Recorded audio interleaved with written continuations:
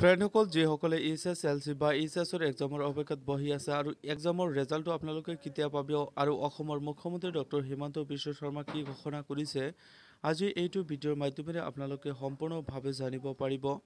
ফ্ৰেণ্ডসকল যিসকলে H S L C বা H S এক্সামৰ অপেক্ষাত বহি আছে যে ৰেজাল্টটো কেতিয়া দিব সেইসকলৰ বাবে এই ভিডিঅ'টো অত্যন্ত গুৰুত্বপূৰ্ণ হ'ব। কাৰণ অসমৰ মুখ্যমন্ত্ৰী ডক্টৰ হিমন্ত বিশ্ব শৰ্মাই ইতিমধ্যে কি ঘোষণা কৰিছে আপোনালোকে সম্পূৰ্ণভাৱে জানিব পাৰিব।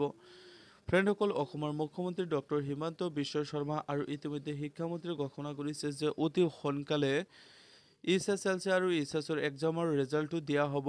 গতিকে ফ্ৰেণ্ডসকল ইতিমধ্যে এতিয়ালৈকেও কোনো ধৰণৰ নতুনকৈ ন'টিছ অহা নাই আৰু ইতিমধ্যে অসমৰ মুখ্যমন্ত্ৰী ডক্টৰ হিমন্ত বিশ্ব শৰ্মা ঘোষণা কৰিছে যে ন তাৰিখত দিয়াৰ বিশেষ সম্ভাৱনা আছে। এইচ এছ এল চি আৰু এইচ এছৰ এক্সামসমূহ চ' ফ্ৰেণ্ডসকল এইচ এছ এক্সামৰ যিটো ৰেজাল্ট আপোনালোকে অতি সোনকালে পাই যাব।